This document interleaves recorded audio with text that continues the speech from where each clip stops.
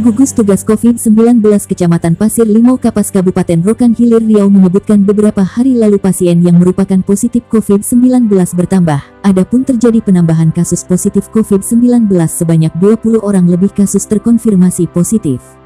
Namun pada hari ini Minggu tanggal 9 Mei tahun 2021, sekitar pukul 11.30 waktu Indonesia Barat, tim gugus tugas kecamatan yang dipimpin oleh Camat Palika Yahya Han SH, Selaku ketua melalui pihak medis Dr. Nanang Wirya menjelaskan, meskipun terjadi penambahan kasus positif, namun juga terjadi penambahan kasus sembuh dari COVID-19 yang telah menjalani isolasi mandiri di rumah. Adapun warga Jalan Komplek Pajak Lama, serta Jalan Bakti, yang awalnya dinyatakan positif COVID-19 dan hari ini tim gugus tugas menyatakan mereka sudah sembuh. Untuk itu rombongan tim gugus tugas yang dipimpin Camat Palika Yahya Han didampingi Kapolsek Panipahan Ibtu Boy Setiawan SAPMSI, serta dari TNI AD dan Posramel Panipahan Sermang Heri Kalman, juga Ketua Posko PPKM Panipahan Edi Syahrial AMKS Kep. Mereka secara resmi membuka jalan yang belakangan ini diblokir oleh tim gugus tugas dan dilarang dengan bertulisan, dilarang memasuki jika tidak ada berkepentingan. Dan kali ini jalan tersebut secara resmi dibuka oleh tim gugus tugas COVID-19 sebagaimana yang terpantau di lokasi oleh jurnalis Palapa TV.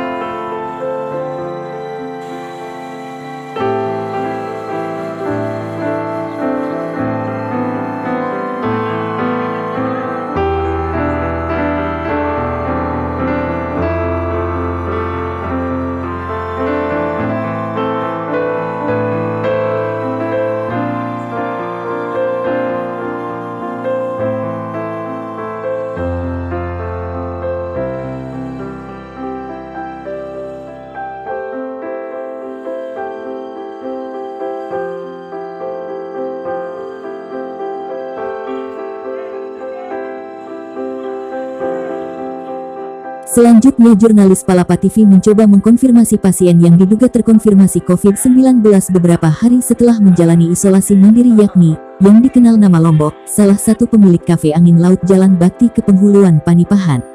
Berikut yang disampaikannya. Bang Abang dari awal itu bisa dikatakan positif itu permulanya apa bang awalnya? Awalnya aku mendingin badan demam. Oke siap. Berobat aku apa nantang. Hmm. Katanya mau di sweat gitu. Hmm. Nah nggak mau aku pergi lah puskesmas kan. Hmm. Nggak mau udah pak. Ngapain aku sehat kok. Pergi aku puskesmas berobat aku puskesmas. Hmm. Sehat aku. Sehat aku puskesmas. Ah.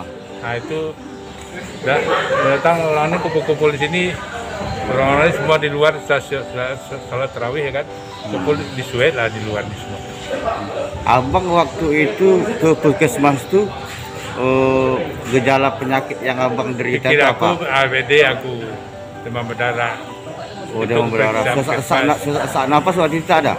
enggak Berarti dilakukan pemeriksaan di dokter sini lah ya. iya Bisa hasilnya positif itu? enggak ada itu itu Enggak, artinya kan bahwa abang dikatakan positif. nah, Untuk memastikan positif itu dari mana pula hasilnya? enggak ada Pak Nanang bilang aja siap di Suet itu dan tiga hari itu orang kami pajak ini dipanggilkan dalam HP gitu. Yang kena yang kena Ali Asmar katanya Abi Putra dalam HP aja.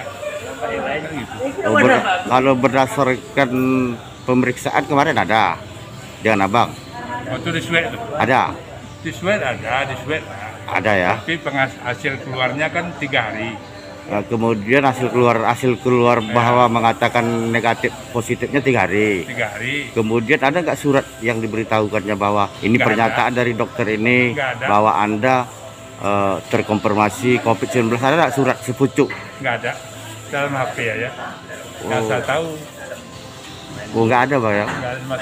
Jadi abang merasa eh, tidak artinya merasa kurang keyakinan lah ya. kurang yakin Langsung ke langsung bapak berangkat ke Ranto Peranto. Nah. Jadi setelah sampai di Ranto dilakukan pengecekan. periksa di Ranto. periksa di Ranto. Nah, yang bayar 200 ribu negatif. Oh, Nah, udah negatif kan 85 persen ya kan. oh, Jadi apa sama guru Kartini itu Rizky ya. oh, Nah, Rizky ambil sih dia. Ambil yang 100 persennya lah Pak. Kami kita berdua ya kan. Hmm, Nah, itu tanya sama ibu itu hmm.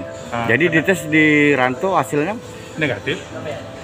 ada nggak surat pemberitahuan dari dokter Ranto Ada. bahwa bapak adalah tidak uh, terkonfirmasi COVID-19 ada? Ada suratnya Pak? Ada ya. Iya. Tapi kalau hasil positif yang dites dari Panipa itu tidak ada surat ada. diberitahu di bapak? Sama saya nggak ada. Tak ada ya. Artinya ini surat pernyataan dari dokter ini bahwa hasil swab yang kami tes Nggak ah, tak ada ya. Nggak ada. Oh, oke sekarang bapak sudah dinyatakan sudah sembuh ya. Iya. Kira-kira apa harapan bapak kira-kira saat sekarang ini? Bahagia enggak kira-kira? Ya saya bahagia lah. Nggak mungkin saya terkurung di rumah aja. Usaha bapak selama ini kira-kira Ya, selama ini merosot enggak? Merosot. Jauh enggak? Berapa persen? Orang takut masuk. Takut masuk bang ya. Ya takut masuk. Tapi mudah-mudahan ini enggak ada lagi ya. Ya.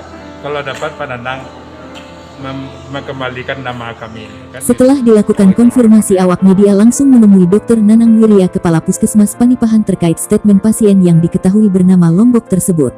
Nanang Wirya saat dikonfirmasi di Puskesmas Panipahan yang berada di Jalan Lingkar Bundaran ke Penghuluan Panipahan Darat, berikut klarifikasi yang disampaikan Dr. Nanang Wirya. Atas klarifikasinya eh, Pak Saudara Pak Lambo ya, Ali Asmar. Sebenarnya eh, pertama kali saya menyampaikan itu sudah ada dasarnya saya sampaikan. Karena hasil dari pemeriksaan laboratorium eh, biomal yang ada di Pekanbaru dia menyampaikan tuh keseluruhan puskesmas itu berupa ben- berbentuk XL ya data XL Kemudian data XL itu bisa kita sampaikan langsung atau kita printkan. Jadi waktu saya menyampaikan itu pertama secara lisan. Secara lisan saya bacakan hasil penyampaian dari dinas yang didapat dari biomal, saya sampaikan secara lisan. Namun sampainya secara lisan saya tetap me- mem- membuatnya dalam bentuk hitam putih, saya printkan. Kemudian saya sampaikan juga berapa hari kemudian. Dan lambat laun pun ada desakan dari beberapa terkonfirmasi positif dari data itu. Maka saya hubungi dinas kabupaten, dinas kesehatan kabupaten dan uh, biomol untuk memprint, memprintkan dengan surat resmi. Surat resmi, maka saya dapatlah surat resmi, itu berbentuk ini dia. Ah ini dia. Cuma karena ini pemeriksaan ini secara ramai, secara global, secara massal, maka tidak bisa diberikan satu-satu per orang per orang.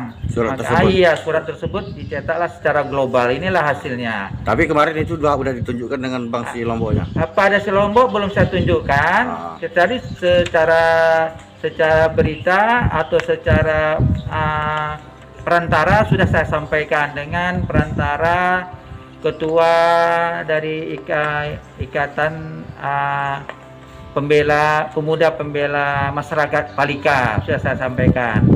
Sebenarnya ini pun sudah mau saya sampaikan sama eh, yang bersangkutan, namun sudah saya sampaikan secara global di eh, ketua atau pengurus musola eh, yang berdampak eh, COVID ini, gitu sudah saya sampaikan. Cuma secara langsung pada Pak Lambo yang kertas ini hasil ini belum saya sampaikan. Intinya dari awal Pak Silambo itu belum ada menerima surat pernyataan bahwasanya ada eh, pernyataan dari dokter tersebut bahwa mengatakan dia tadi positif eh, eh, yang berdampak ah, COVID ini itu sudah saya sampaikan.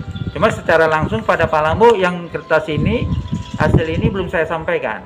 intinya dari awal Pak Silambo itu belum ada menerima surat pernyataan bahwasanya ada eh, pernyataan dari dokter tersebut bahwa mengatakan dia tadi positif eh, COVID-19 itu yang yang mereka sampaikan begitu. Ya begini cara penyampaian mungkin dari instansi atau dari laboratorium mungkin cara penyampaian itu berbeda-beda. Hmm. Eh, saya lihat punya Pak Lambo itu dia pemeriksaannya di laboratorium swasta. Hmm. Itu sifatnya per orang. Hmm. Jadi untuk membuktikan orang itu mendapatkan hasil tentu dengan lembaran yang dari dari laboratorium itu. Ya, baik. Kalau kita dari laboratorium Ra- Arifin Ahmad Provinsi Rumah Sakit eh, Provinsi Arifin Ahmad itu memang rujukan untuk pemeriksaan COVID seluruh kabupaten yang ada di Riau ini. Jadi mereka mengirimnya itu dalam berbentuk Excel. Seluruh puskesmas mendapat seperti itu. Namun saya pun me- mengemprintkan ya Excel itu. Dan saya tunjukkanlah pada keluarganya eh, du- dua hari kemudian sesudah eh, secara lisan saya sampaikan. Artinya oh, ber- artinya laporan atau bukti-bukti itu lah yang bertanggung jawab betul itu hanyalah laboratorium. Karena berbentuk itu yang disampaikan bukan kami yang yang membuatnya begitu. Ya demikian. Bukan puskesmas yang membuatnya begitu Tapi hasil yang disampaikan dengan lambuk itu itulah hasil dari laboratorium swasta di Sumatera Utara Enggak, bukan. Artinya hasil yang disampaikan bahwa hasil positif itu yang Betul. disampaikan yang Sulambo Iya. itu adalah hasil dari hasil dari laboratorium. pemeriksaan laboratorium biomal Rumah Sakit Arifin Ahmad Pekanbaru Tapi Itu yang abang hasilnya. tunjukkan waktu itu hanya HP aja ya katanya gitu. Nah, enggak, karena pengiriman itu melalui HP, di Excel, oke, bukan berbentuk kertas. Oke, siap siap. Ya. Terima kasih, Bang. Ya, Ya, oke. oke. Terima kasih. Mustar Manurung Palapa TV melaporkan.